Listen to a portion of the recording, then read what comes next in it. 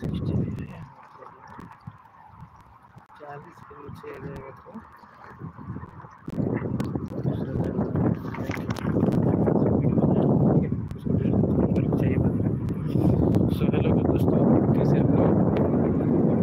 और देखिए शाम का टाइम हो गया है इधर लाइट्स ऑन हो गया है रोड और ये देखिए सनसेट भी समय अभी टाइम हो गया है थैंक यू थैंक भाई, चल रहे हैं आप लोग चलिए ज़रूर और आप लोग सुनिए कमेंट कीजिए।